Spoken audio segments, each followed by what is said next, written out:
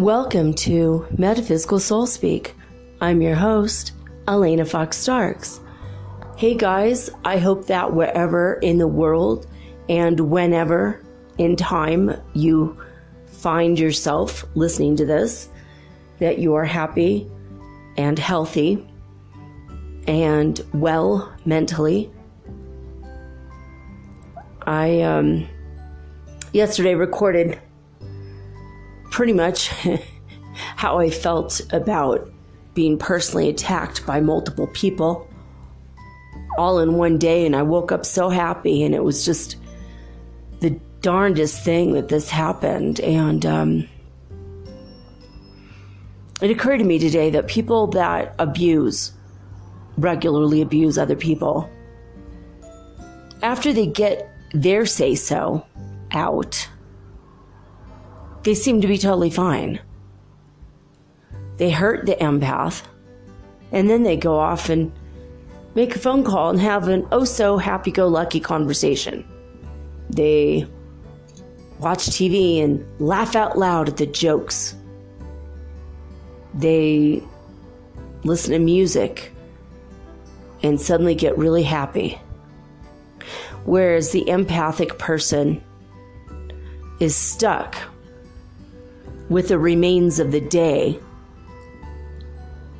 lying as if they are dead things in their hands. You're, you're left to pick up the pieces of the hurt feelings, and they stick with you for three or four days. Last night, my twin flames, he felt, I could feel him, I could sense him sensing me and my hurt feelings. And as I started to sleep last night, I felt his arms around me. And it really helped to think that at least somebody somewhere in the world, you know, feels me and feels my pain and gives a damn, you know. I know you guys do, but I mean, as far as like I don't have anyone in my immediate vicinity in my life.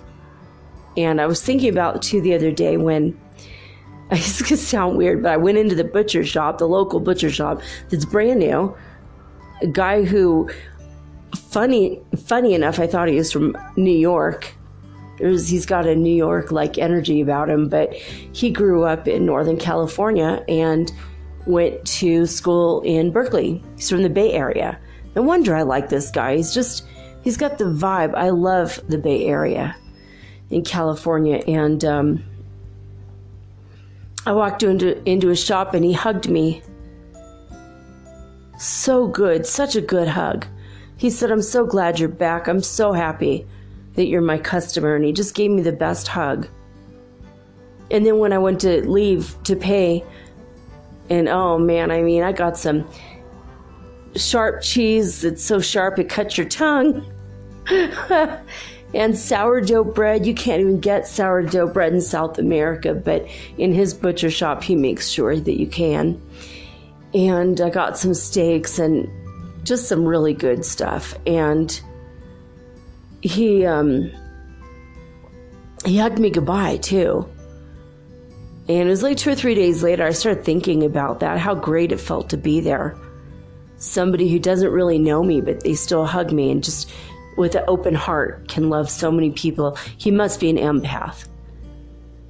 I mean, he even made it a point to tell me that all the animals that um, have been butchered for his to sell as meat in a shop, when they were alive, they were loved. They had free range of this huge farm. Their pet, they're loved. Um, you know, they know that that was what they were there for. And I know a lot of people still have problems with that.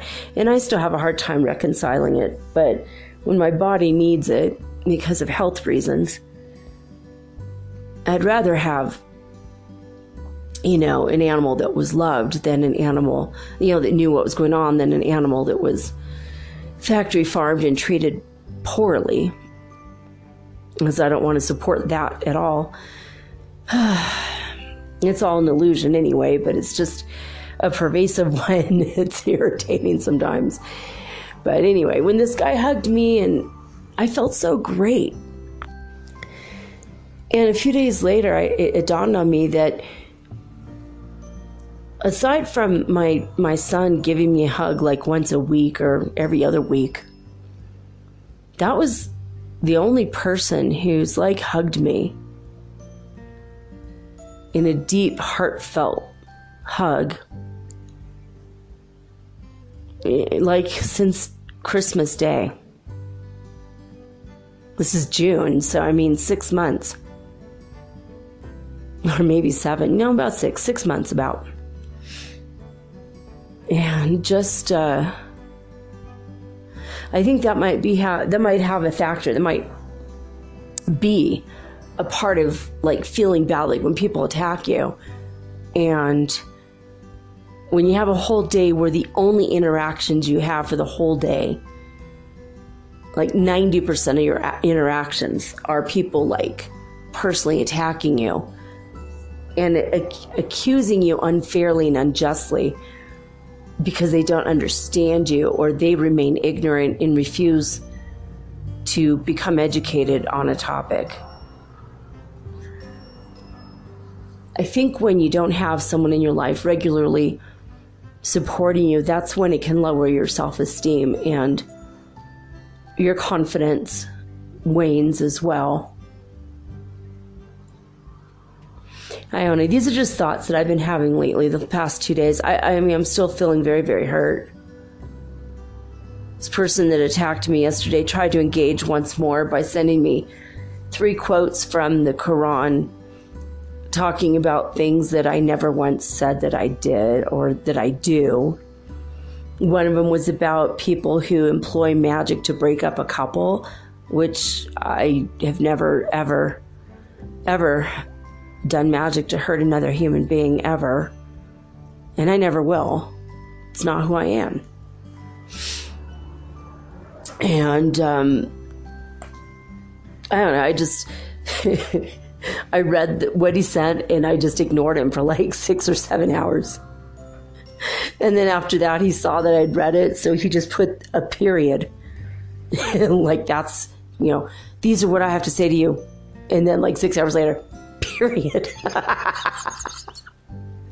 and I'm like, all right. So I waited another couple hours and I sent him a video of an imam talking about how you should never judge others not for their religious beliefs, not for their acts, their deeds, or any words that they speak, because it's really none of your business. Including the idea that you could judge somebody for something that they said yesterday, but you don't know if they've asked for forgiveness during the night.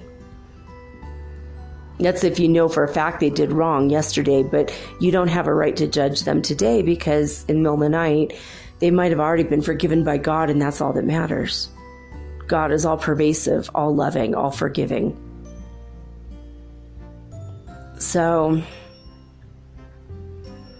I don't know. I'm, it's just weird. I don't know. Just the whole, my whole experience from yesterday is still with me today. I hope to God it's better tomorrow. I still managed to get a few things done. I bought my plane ticket to Quito, where I'm going to attempt to get my visa to stay in this country another 11 months. then I have to reapply and do the whole thing again. But uh, I don't know. What I guess what bothers me is that this person heard the word magic from me and even though there might be 30 words in the paragraph, the only word he saw was magic.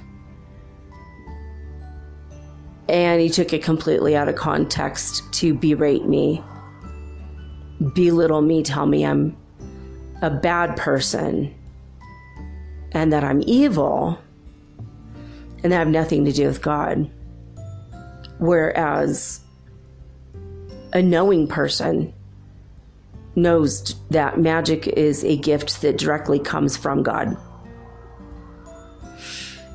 And then I was reminded of the life and teachings of the masters of the Far East. It was written in 1894 or not 1896, something like that, in the 1890s. Victorian era, early Victorian era, where these scientists travel to the Himalaya mountains in search of the great ones, the masters, the ascended masters who still live there and in some cases have lived there for thousands of years in a higher dimension and sometimes came down to the third dimension when people needed um, healing or teaching. And I read the first two books, and it's like six books in the series, and I didn't get quite to it. It's out of print, it's really hard to find. When you find it, just please go out of your way to buy it. Even if it's $200, it's worth every penny for the stories of it. But in this book, these books, I learned that these ascended masters said to the astonished scientists as they were performing miracles, like they didn't have any water, so they grabbed a cup and put the cup on the counter, and in a couple seconds there was water. and a couple seconds later, it was boiling water. And, and then they said, Well, what do you want? Tea or coffee? We'll make that. And then they said, Well, tea would be fine. And then now the tea appeared in there.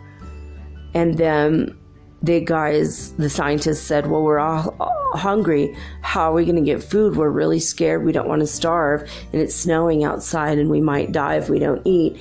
And the master said, Well, why do you have such little faith in us? You think that we'd bring you all this way, like, and not take care of your needs when we know we're responsible for you? Are you, why would you think we would do that? What do you want? Bread? Here. And they held out their hands, and um, fresh loaves of bread appeared in their hands. And they handed it to the scientists who were astonished as well as relieved because they got to eat. And the ascended masters said, What you see before you, you call a miracle or you attribute to trickery or magic. But what we attribute to what we do is that we understand a higher science that you simply do not understand we have the knowledge, we have the wisdom, and because you don't, you're calling it magic. And that's something that's always stuck with me because I realize now that magic, especially higher magic, like I, I, I have magical abilities, but I can't create a loaf of bread in my hand. I know people can. I know someone who creates burritos when he when he was living in the middle nowhere. He created he figured it out. He was by himself for six months. he figured it out. And he could create a burrito, a hot, big chicken burrito in his hand. And he said that it, it was a little bit less um, satisfying than if he had eaten a real burrito, like that he had made physically, because it was like a lighter from a higher dimension. It's a really weird story, but he just says, well, you just have to know how to do it. It's really easy once you know how to do it. And I've read many, many accounts of masters that used quote unquote magic, which is literally just a holy science. There's a whole book called The Holy Science by Swami Sri Yukteswarji, who was the master and guru of Paramahansa Yogananda, who's, who founded Self Realization Fellowship You know, I guess what it is is I'm never upset for the reason I think. And perhaps I'm upset because while I was trying to enlighten somebody, they wish to remain ignorant. And I'm not mad at them, I'm mad at myself because I did not heed the words of Jesus, who said, Do not cast your pearls before swine lest they be trampled. And again, all of it goes back to honestly just being lonely. I'm lonely, so lonely in the sense that I don't really have people that I could talk to about what I know. This is why I have my podcast. I'm talking to the whole wide world. and 46 of you have decided to stick with it and be my regular listeners. I'm getting up to 100 different listens a day, but that means some of you are catching up on old programs. so I'm grateful to have my hashtag soul tribe and my hashtag soul family along for the ride with me. It makes me very happy that you're here. You know, listening. At least somebody's out there listening. And every now and again, I get wonderful feedback, and I'm so grateful to you guys when you do write me a little note when you do follow me on Twitter and say, hey, I love your podcast, keep up the good work, or I'm learning so much. Just last night, when I finished my show, I got a tweet, or I read a tweet that from a guy who told me he's deaf. And as part of the deaf community, he's so upset that he cannot hear my podcast. And do I have the transcripts yet? oh man, it made me feel so bad. But I did tell him it kind of gave me a little bit more um, fodder, a little bit more um, fuel to ignite the fire under my ass to get my books of my transcripts out there and put them out on Amazon. I also told him that my goal is to get 10,000 copies out for free of each of my books that I put out before I start charging money for them. And then, of course, there'll be a discount and then eventually the full price. But it made me feel like I, I kind of knew, I kind of felt that, you know, I, blind people can hear me, but deaf people can't. And I don't want to disinclude anybody, obviously, from the information. I think that spiritual seekers should have the wisdom they seek available um, when they're ready for it. And if I'm the teacher to teach them, cool. I mean, I guess in some ways I'm a teacher. A lot of people have said, I'm learning so much from you. You're a great teacher. And for me, I just feel like I'm me. I got this knowledge and I'm imparting to you what I got from other people, most of it. A lot of it's from my higher guidance or my own observations and thinking and stuff that comes out of literally just being alone. When I was married for 13 years, I didn't socialize much except for with my husband daily and my kids when they came along. Most of my interactions outside of my immediate family, like that, besides, of course, my mother, on the phone, my father. Most of my interactions just really were with spirit and the fairy folk and the jinn and angels and all the animals in the forest that came to my yard. Bears a couple times, mountain lions once or twice. They never approached my property. But um Blue jays, one time a really beautiful green bird I didn't even know existed, looked like a finch of some kind, which is a common bird down here in Ecuador, so it was weird it was up there. And uh, ravens, lots of ravens, wolves. We had wolves in our yard, Sasquatch, a couple times we had Sasquatch. And deer, deer all the time, all the time, deer almost every day. And one time an owl flew past my face and brushed my face with his wing very tenderly as he took off. He was that close to me. I hadn't seen him. He was being very silent stealthy. And once in a great while, people's dogs would get out and come over and hug me. You know, so I had a lot of love and interaction from the natural world. And I don't feel that as much. I mean, we've got Fred and Ethel Mertz, the pigeons outside on the window, windowsill.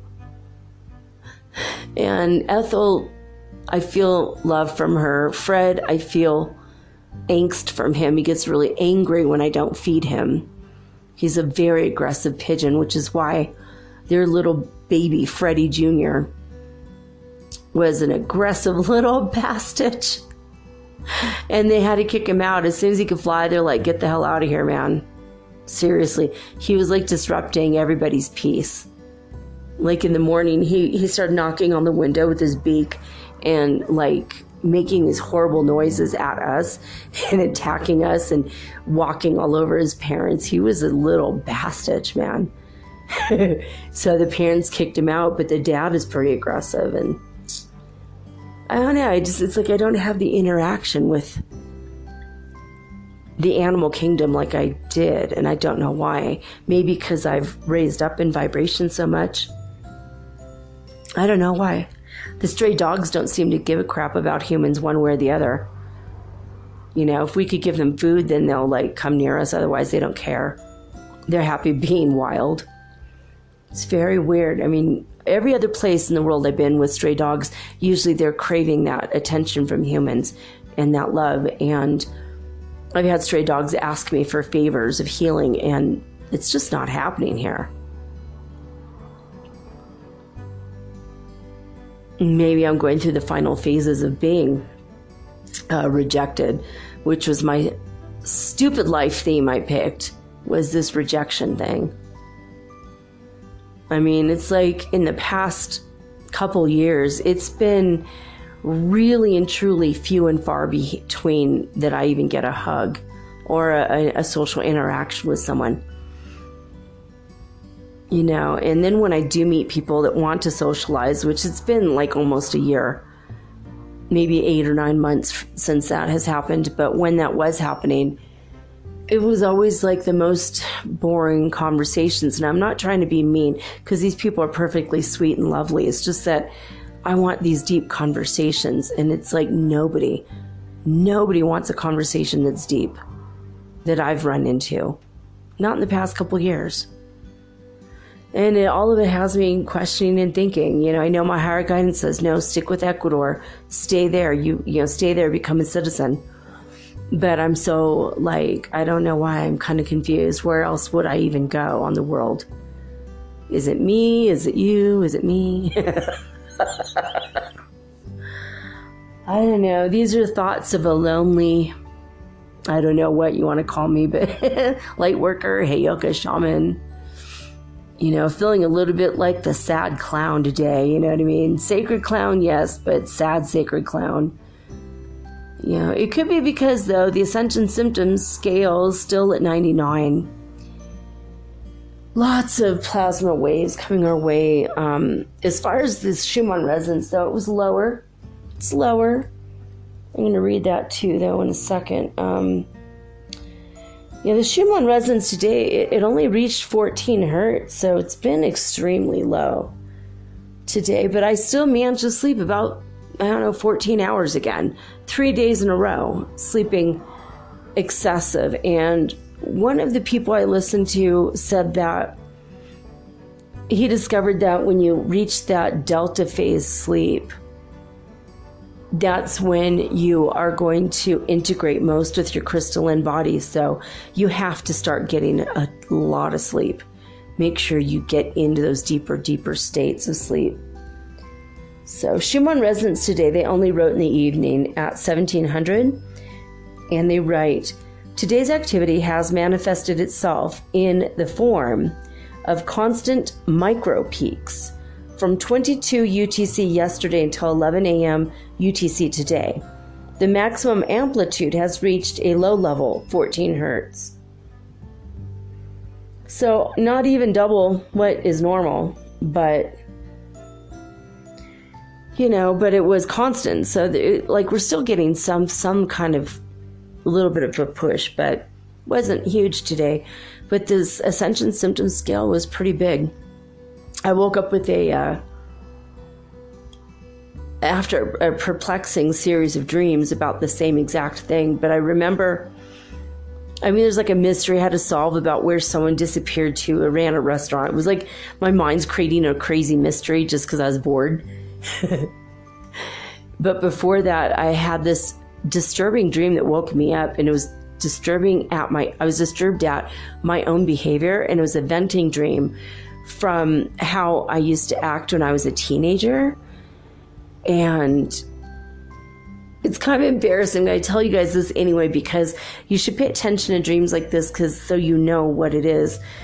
I was walking down the hall at a hostel in my dream. Like it was like me now, but I was behaving like I was then. And it wasn't a hostel I've ever been to. I just made up a place in my mind. And I was walking down the hallway and I saw this really good looking guy and I was like, ooh, I want to attract him. Ooh, ooh. Like, it's not even how I act at all ever now. but when I was a teenager, I did. And I thought, oh, what's my best feature? Quick. And I turned around so he could see my butt. and he just kind of smiled and kept walking. And I woke up really disturbed by that. Like, what the hell was I doing? Why did I make that decision to objectify myself in my sleep? And I realized that this is how I and all the people I knew when I was a kid used to act. Like we're just a bunch of bloody baboons showing our asses to people to cr- try to find a mate. You know, it's very primal, primate behavior. Literally animal behavior. And it's how we all thought of ourselves when, you know, back in the 80s. We were all objectifying ourselves back in the 80s. So, I wonder if you guys don't have some of this stuff lingering around your psyche that you should probably just let go of. Stop objectifying yourself. And then I woke up and I'm like, well, why didn't I show my boobs? Wait a minute. That's further objectification. No, wait a minute. And I realized, what, what are my best features? Why do I think that's it? And then, then I started really thinking about, I'm like, well, I know my heart. I have a big heart and I love very deeply. I'm very empathic and I'm very loving to others. That's one of my best features. Plus, my brain.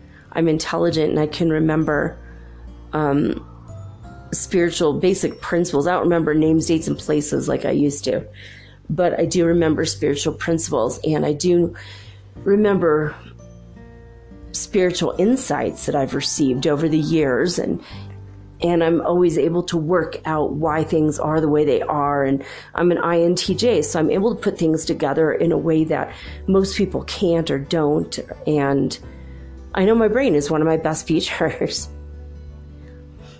You know, it's, I guess I get really angry when people ask me um, for a picture. Oh, I want a picture of you. Why? Well, you're beautiful. So what? I get really mad about it. And I never got mad about it before. My oldest said, Well, mom, that's objectification. Why do you put up with that crap?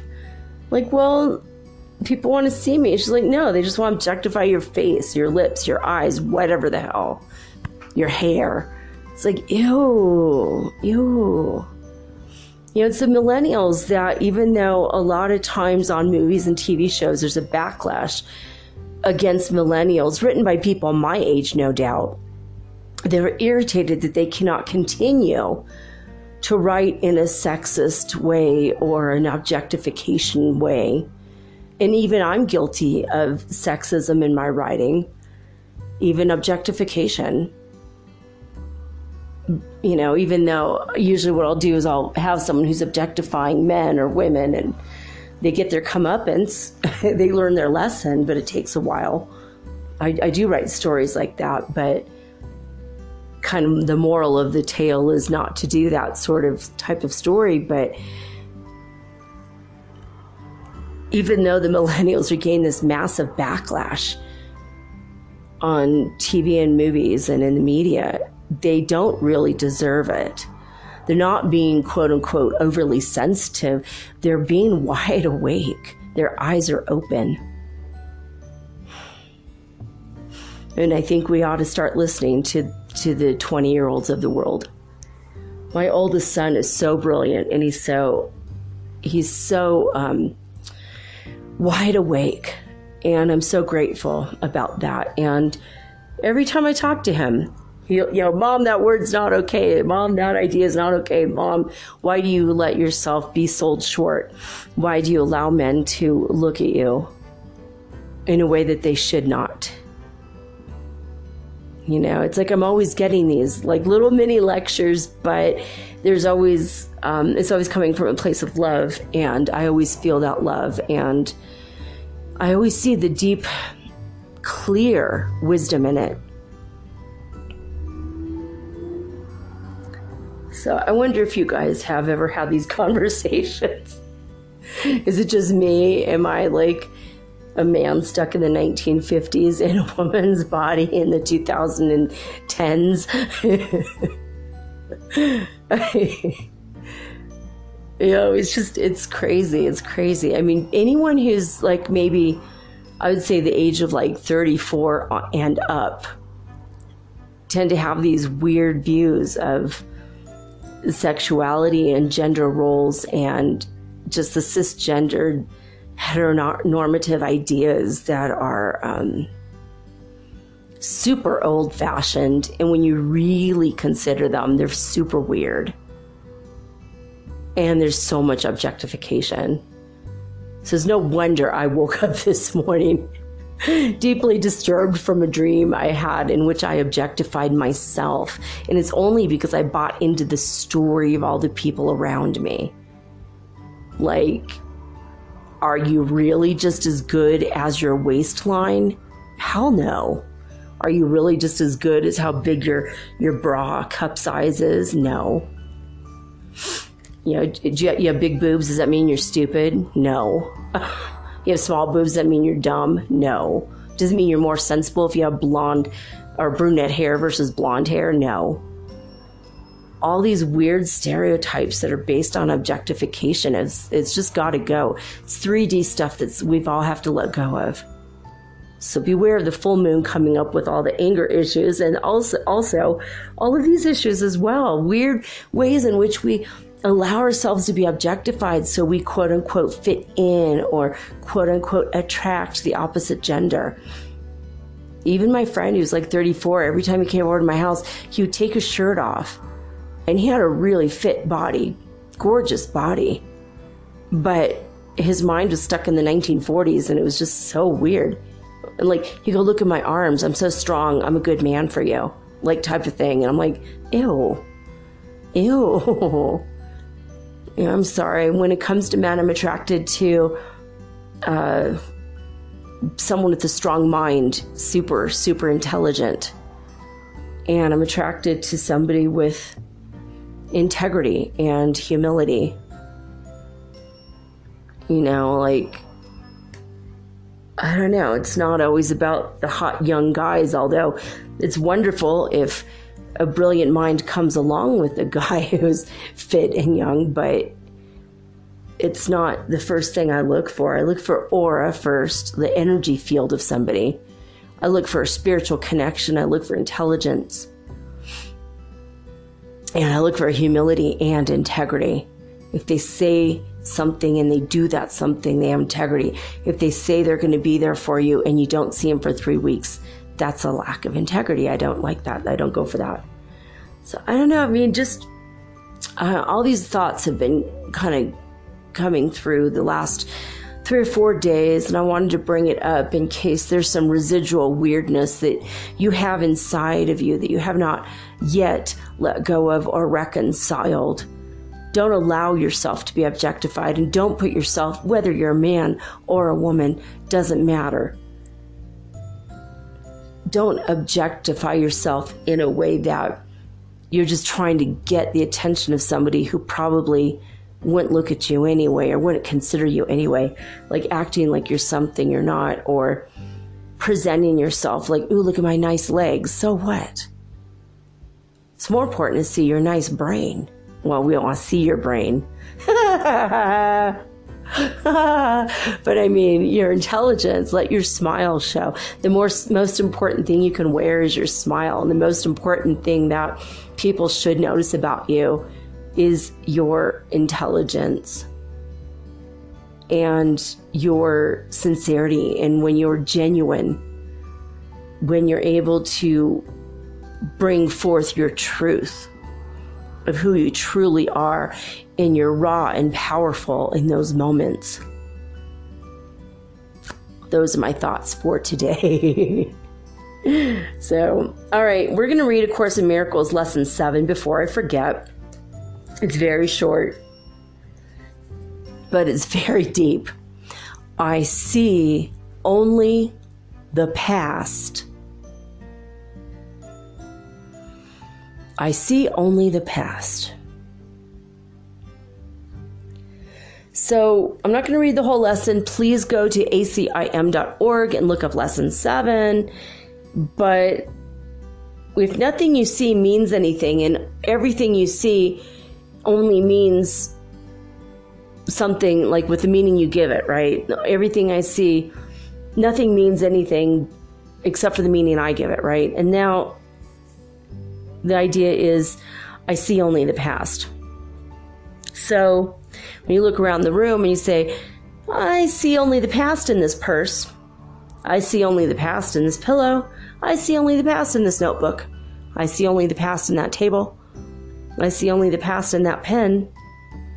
I see only the past in that face. I see only the past in that body. See only the past in that coffee cup. It's true because anything you see in anything you associate with the thing that you see is the association is based on past experience. Feeling that blanket against your face, feeling that coffee cup against your lips, knowing the coffee cup can break because you broke a coffee cup in the past. You know, when you look at stuff around your room, you're associating it with past memories. So anything that you can physically see is pretty much you're just looking at the past. All right, guys, I have a really cool uh, treat for you when I come right back. I hope you enjoy this one. It's a surprise. let the please let the commercial play out. It is how I get my funding. I only get 1.7 cents for every time you listen to the commercial. But now's your chance. Run to the bathroom real quick. Come right back because you're not going to want to miss the second half of this show.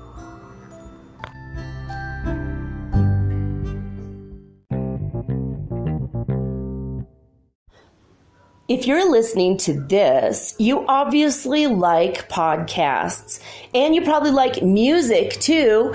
Long walks on the beach, romantic dancing under the stars, and oh, wait, we're not doing that right now. on Spotify, you can listen to all of that in one place for free, and you don't even need a premium account, which is cool. Free is always good. Spotify has a huge catalog of podcasts on every topic, including the one you're listening to right now. On Spotify, you can follow your favorite podcasts so you never miss an episode. Download episodes to listen to offline wherever you are, including your long romantic walks on the beach. Also, one, one thing I love about Spotify is that you can easily share what you're listening to with your friends via Spotify's integrations with the social platforms like Instagram. So that makes it really, really versatile. Just search for Metaphysical Soul Speak on the Spotify app or browse podcasts in the Your Library tab. And follow me, of course, don't forget, so that you'll never again miss an episode of Metaphysical Soul Speak. Spotify is the world's leading music streaming service, and now it can be your go to for podcasts too. Thank you guys so much for supporting Metaphysical Soul Speak on Spotify.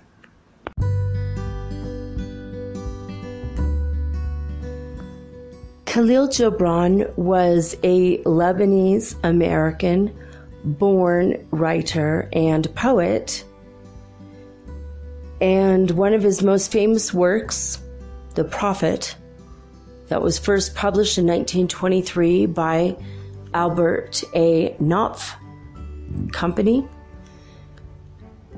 basically, January 1st, 2019 became a part of the public domain. So, woohoo, I get to read it to you guys, and I'm going to read it to you. I've decided that between now and every Saturday until I finish, I'm going to read some selections, well, from the beginning through the end of Kahlil Gibran's The Prophet. This book has meant a lot to me over the years. My personal story with it is that I my friend had given it to me and I started to read it and loved it. Read the whole thing and just absolutely loved it. Then I met my husband, my second husband, who I had my children with. We read it together. And when we got our uh, when we wrote our own uh, not only just our vows, but our entire wedding. We wrote the entire thing. Well, I wrote it. He wrote his own vows, but we based everything on what we read in the prophet. And we did read a quite a bit of the prophet was read during our wedding. And then when I was pregnant with my first child, I read the book to her while she was in the womb. Same thing with my second son. And when I sent out the birth announcements for my children, they each got their own verse from the prophet on the birth announcement that was sent out to all of our family and friends. And when I sent this out to my mom, she called me and was crying because she read this book out loud to me while I was in the womb. And after I was born, she gave me away to strangers. So I was adopted, and I never knew that about my mom. And I, I got in touch with her when I was 30. For the first time, I met her when I was like 30 or 31. No, 30, I was 30. So I didn't know for 30 years my mom had read this to me in the womb, and I didn't bother to tell her what I was reading my child in the womb. So I don't know. It's this book is very, very special. My first week in Detroit with my children, after we bought our house there, we were invited by the Detroit Institute of the Arts because I signed up immediately for their newsletter. We were invited to go see the premiere of the cartoon version, the animated version of the prophet, the story about the prophet. It had a lot of the teachings of Kahlil Gibran in the movie. And Salma Hayek was the director and producer, and basically, it was her project. It was her pet project because this also meant a great deal to her we literally saw the first worldwide premiere showing that was absolutely free on the lawn of the Detroit Institute of the Arts. We sat with hundreds of people in the grass on a pretty overcast, kind of rainy day. but we all stayed outside anyway, even though all of our butts got wet sitting in that wet, wet grass. The, the movie was so, so amazing that nobody got up, nobody left. Even when it started to rain, we're just like, Psst, yeah, little rain's not going to hurt. It's just water. We're waterproof. Humans are waterproof. Our clothes aren't, but we are. so, this book has followed me my whole life, at least my whole adult life. So I'm going to share it with you tonight in the event that you have never heard it, or in the event that you have read it and you loved it and you've missed it. I hope I do a good job in the reading. I hope it brings great meaning to you. And now that we're all ascending, it might bring us even more meaning than what we knew it could. There's something very special about this, and I hope that by my reading it to you over the next several weeks, every Saturday, I hope that it will bring a great deal of joy, wisdom, understanding, and knowledge to you. So, without further ado, uh, this is Kahlil Gibran's the prophet.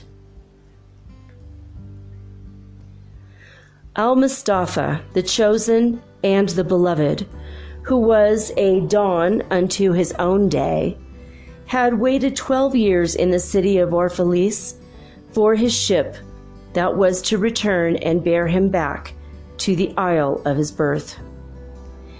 And in the twelfth year, on the seventh day of Ielool, the month of reaping, he climbed the hill without the city walls and looked seaward, and he beheld his ship coming with the mist.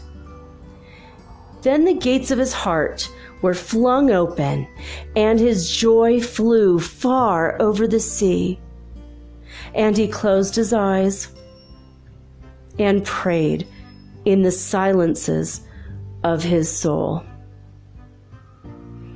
But as he descended the hill, a sadness came upon him, and he thought in his heart, How shall I go in peace and without sorrow? Nay, not without a wound in the spirit shall I leave the city.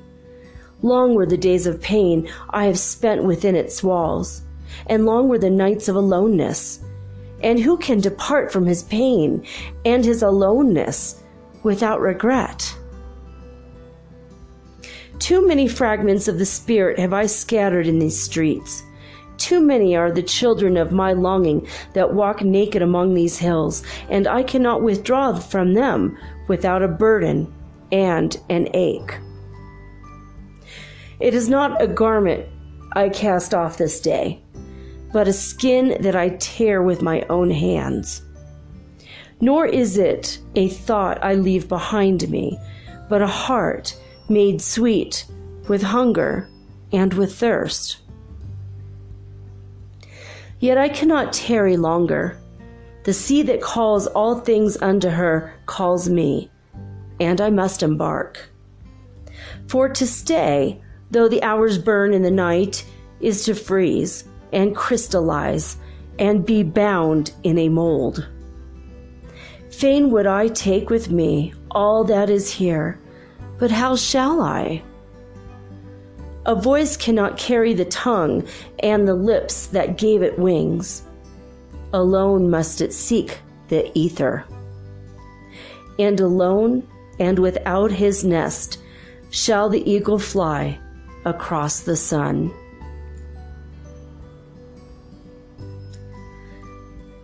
Now when the now when he reached the foot of the hill, he turned again towards the sea, and he saw his ship approaching the harbor, and upon her prow the mariners, the men of his own land. And his soul cried out to them, and he said, Sons of my ancient mother, you riders of the tides. How often have you sailed in my dreams, and now you come in my awakening, which is my deeper dream. Ready am I to go, and my eagerness with sails full set awaits the wind. Only another breathe. Oh, I'm sorry. Only another breath will I breathe in the still air. Only another loving look cast backward. And then I shall stand among you, a seafarer among seafarers. And you, vast sea, sleepless mother, who alone are peace and freedom to the river and the stream. Only another winding will this stream make, only another murmur in this glade. And then shall I come to you, a boundless drop to a boundless ocean. And as he walked, he saw from afar men and women leaving their fields and their vineyards and hastening towards the city gates. And he heard their voices calling his name and shouting from field to field, telling one another of the coming of his ship. And he said to himself, Shall the day of parting be the day of gathering? And shall it be said that my eve was in truth my dawn? And what shall I give unto him who has left his plow in mid furrow, or to him who has stopped the wheel of his winepress? Shall my heart become a tree heavy laden with fruit, that I may gather and give unto them? And shall my desires flow like a fountain, that I may fill their cups? Am I a harp? That the hand of the mighty may touch me, or a flute that his breath may pass through me? A seeker of silences am I. And what treasure have I found in silences that I may dispense with confidence? If this is my day of harvest, in what fields have I sowed the seed, and in what unremembered seasons? If this indeed be the hour in which I lift up my lantern, it is not my flame that shall burn therein. Empty and dark shall I raise my lantern, and the guardian of the night shall fill it with oil, and he shall light it also. These things he said in words, but much in his heart remained unsaid. For he himself could not speak his deeper secret. And when he entered into the city, all the people came to meet him, and they were crying out to him as with one voice. And the elders of the city stood forth and said, Go not yet away from us. A noontide have you been in our twilight, and your youth has given us dreams to dream. No stranger are you among us, nor a guest, but our son and our dearly beloved.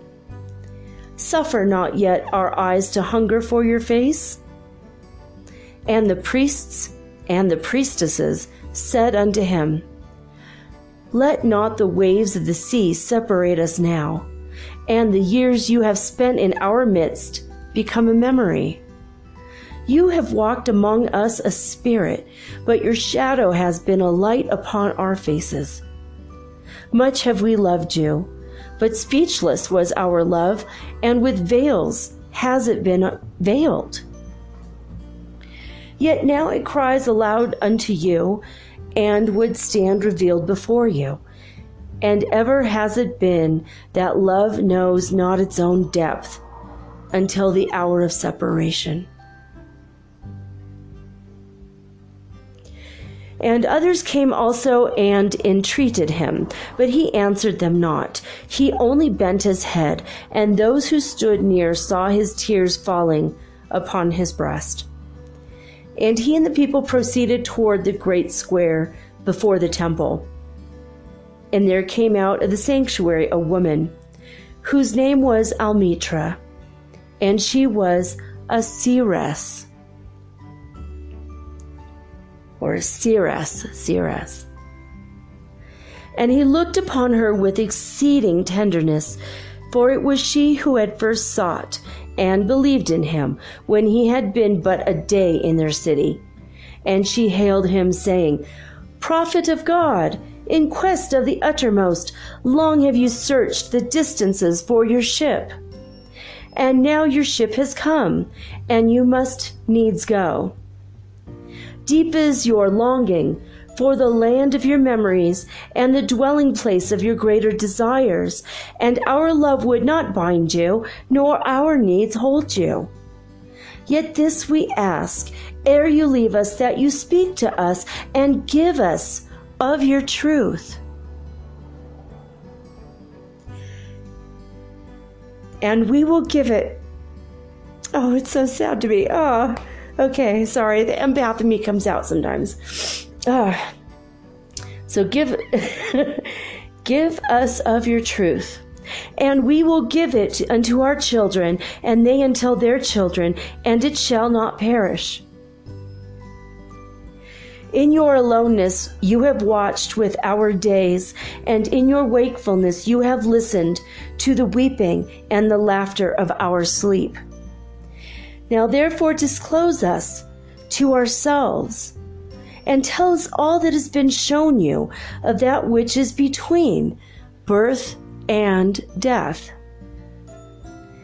And he answered, People of Orphalese, of what can I speak save of that which is even now moving within your souls? Then said Almitra, Speak to us of love. And he raised his head and looked upon the people, and there fell a stillness upon them. And with a great voice he said, When love beckons to you, follow him. Though his ways are hard and steep, and when his we- wings unfold, you yield to him. Though the sword hidden among his pinions may wound you, and when he speaks to you, believe in him. Though his voice may shatter your dreams as the north wind lays waste the garden. For even as love crowns you, so shall he crucify you. Even as he is for your growth, so is he for your pruning even as he ascends to your height and caresses your tenderest branches that quiver in the sun. So shall he descend to your roots and shake them in their clinging to the earth. Like sheaves of corn, he gathers you unto himself. He threshes you to make you naked. He sifts you to free you from your husks. He grinds you to whiteness. He kneads you until you are pliant. He and then he assigns you to his sacred fire, that you may become sacred bread for God's sacred feast. And all these things shall love do unto you, that you may know the secrets of your heart and in that knowledge become a fragment of life's heart.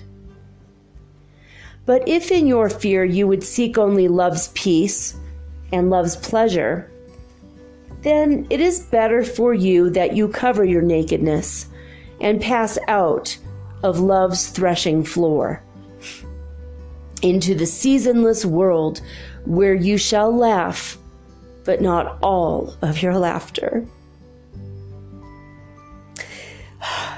And weep, but not all of your tears. Love gives not but itself and takes not but from itself. Love possesses not, nor would it be possessed. For love is sufficient unto love. When you love, you should not say, God is in my heart, but rather, I am in the heart of God. And think not you can direct the course of love, for love, if it finds you worthy, directs your course. Love has no other desire but to fulfill itself. But if you love and must needs have desires, let these be your desires. To melt and be like a running brook that sings its melody to the night, to know the pain of too much tenderness. To be wounded by your own understanding of love and to bleed willingly and joyfully. To wake at dawn with a winged heart and give thanks for another day of loving. To rest at noon, at the noon hour, and meditate love's ecstasy. To return home at eventide with gratitude and then to sleep with a prayer for the beloved in your heart and a song of praise upon your lips. Then Almitra spoke again and said, And what of marriage, Master? And he answered, saying, You were born together, and together you shall be forevermore. You shall be together when the white wings of death scatter your days. Ay, you shall be together even in the silent memory of God. but let there be spaces in your togetherness, and let the wings, the winds of the heavens dance between you. Love one another, but not make a bond of love. Let me read that again. Love one another, but make not a bond of love. Let it rather be a moving sea between the shores of your souls. Fill each other's cup, but drink not from one cup. Give one another of your bread, but eat not from the same loaf. Sing and dance together and be joyous, but let each one of you be alone. Even as the strings of a lute are alone, though they quiver with the same music. Give your hearts, but not into each other's keeping. For only the hand of life can contain your hearts. And stand together yet not too near together. For the pillars of the temple stand apart, and the oak tree and the cypress grow not in each other's shadow.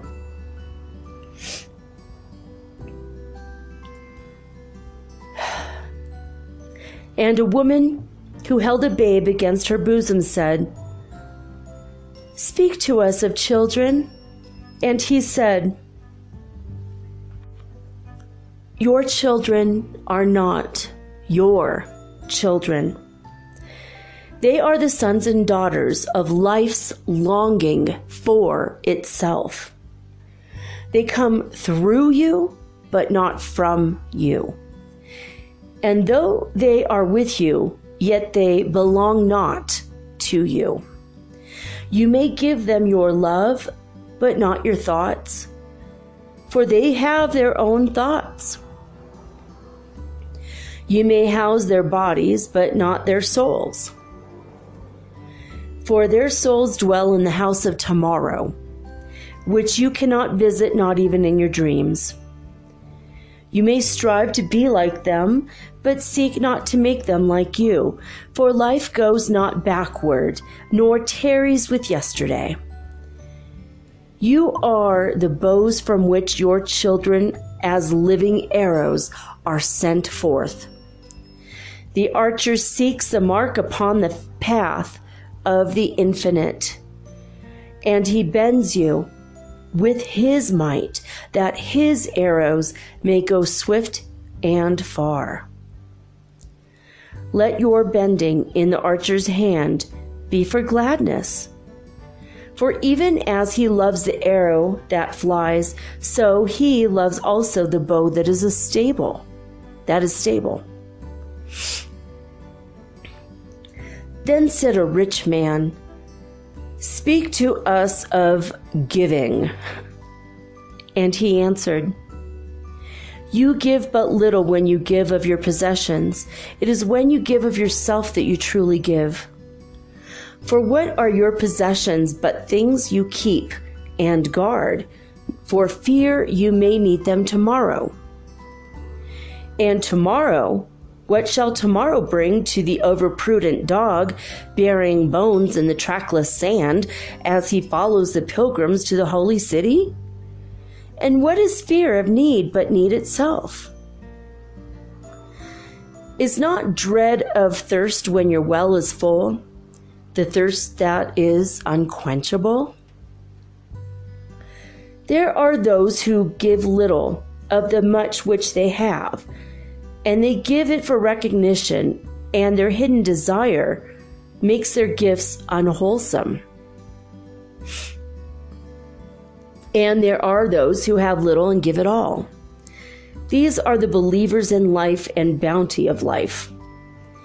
And their coffer is never empty. There are those who give with joy, and that joy is their reward. And there are those who give with pain, and that pain is their baptism. And there are those who give and know not pain in giving, nor do they seek joy, nor give with mindfulness of virtue. They give as in yonder valley the myrtle, bre- the myrtle breathes, its fragrance into space. Through the hands of such as these, God speaks. And from behind their eyes, he smiles upon the earth. It is well to give when asked, but it is better to give through unasked, through understanding.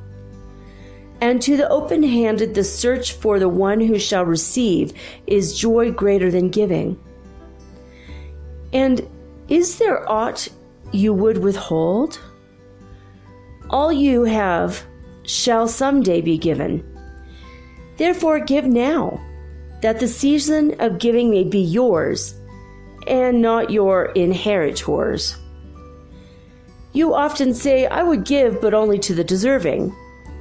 The trees in the orchard say, Not so, nor the flocks in your pasture. They give that they may live, for to withhold is to perish. Surely he who is worthy to receive his days and his nights is worthy of all else from you. And he who has deserved to drink from the ocean of life deserves to fill his cup from your little stream. And what desert greater shall there be than that which lies in the courage and the confidence, nay, the charity of receiving? And who are you that men should rend their bosom and unveil their pride, that you may see worth their worth naked and their pride unabashed? See first that you yourself deserve to be a giver and an instrument of giving. For in truth it is life that gives unto life, while you who deem yourself a giver are but a witness. And you receivers, and you are all receivers, assume no weight of gratitude, lest you lay a yoke upon yourself and upon him who gives. Rather, rise together with the giver on his gifts as on wings. For to be over mindful of your debt is to doubt his generosity who has the free hearted earth for mother and God for father. And then an old man, a keeper of an inn, said, Speak to us of eating and drinking. And he said, Would that you could live on the fragrance of the earth, and like an air plant be sustained by the light. But since you must kill to eat, and rob the newly born of its mother's milk to quench your thirst, let it then be an act of worship. And let your board stand an altar on which the pure and the innocent of forest and plain are sacrificed for that which is purer and still more innocent in man. When you kill a beast, say to him in your heart, By the same power that slays you, I too am slain, and I too shall be consumed. For the law that delivered you into my hand shall deliver me into a mightier hand. Your blood and my blood is not, but the sap that feeds the tree of heaven.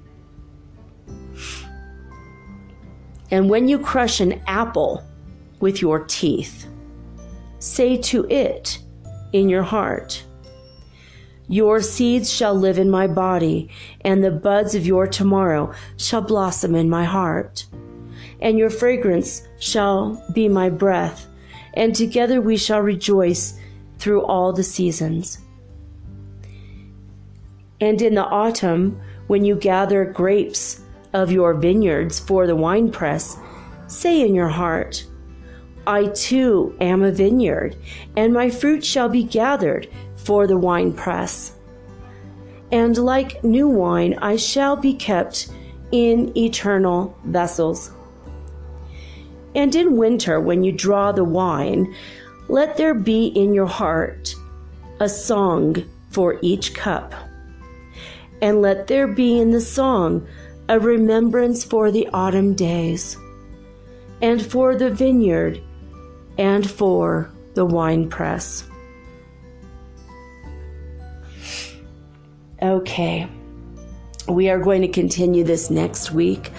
I hope that you have enjoyed the beginning parts of The Prophet by Lebanese American writer and poet Kahlil Gibran. As always, I love each and every one of you with my whole heart. And I give my my podcast is always free forever. And I'm hoping it will be available forever so that you can listen anytime and as often as you would like.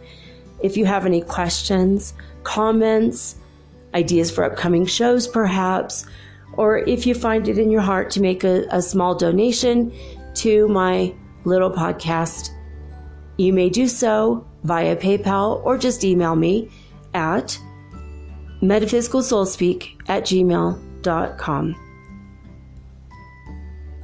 So, uh, well, that's all I gotta say about that. I'll be back tomorrow with all new programming, unique content as always.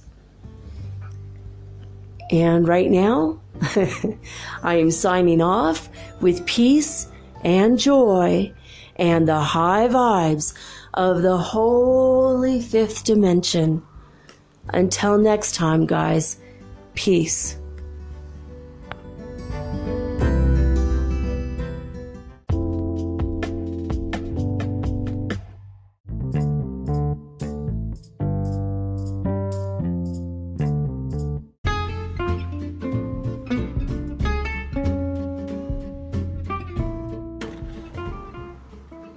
Metaphysical Soul Speak is run on sponsors and listener support. This means listeners like you. If you are so inclined to support my efforts and my little podcast, please visit me at anchor.fm forward slash metaphysical and pledge an amount of your choosing today. Thank you.